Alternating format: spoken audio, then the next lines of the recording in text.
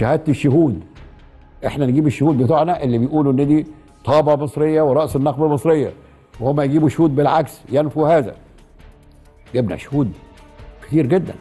أديت الشهادة بتاعتي شهادة الميدانية أنا كنت الشاهد الرئيسي الميداني.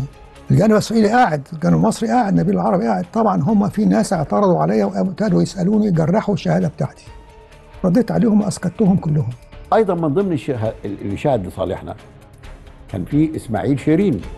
إسماعيل شيرين باشا ده كان وزير حربية مصر سنة 1952 ولما الملك فاروق عزل وخرج على الباخرة المحروسة إلى إيطاليا سافر معاه على نفس الباخرة إسماعيل شيرين باشا اتصل بحامد سلطان اللي هو المحكم بتاعنا.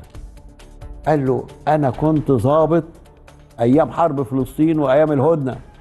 وكان موقعي في طابة ومعايا صور وإحنا واقفين جنب شجرة الدوم. دي علامة موجودة هناك. وكان معايا العساكر المصريين بالزي المصري بتاعهم وبالطربوش المصري وصور ومعايا خطابات. كنت ببعتها لأهلي وتجيلي منهم. كلها تؤكد إن طابة مصرية. تقبلوا إن أنا آجي أشهد ولا هتقولوا إن أنا من العهد الملكي وبالتالي ترفضوا إن أنا آجي. فاتصلنا بالخارجية المصرية في القاهرة.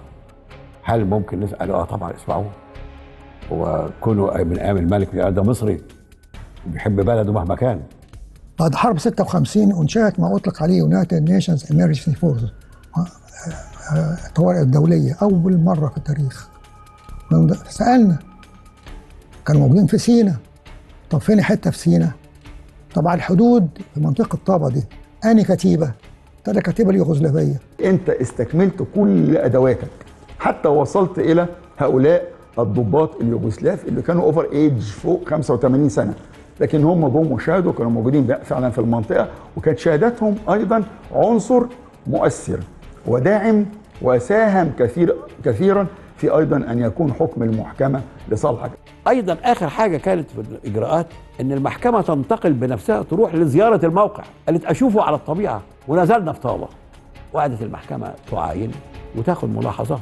وتكتب أيضا كان واضح من هذه العلامات أن أرض طابة واضح إنها مكملة للأرض المصريه أيضا زيارة الموقع كانت أحد العوامل اللي خلت المحكمة تزداد قناعة بحجتنا.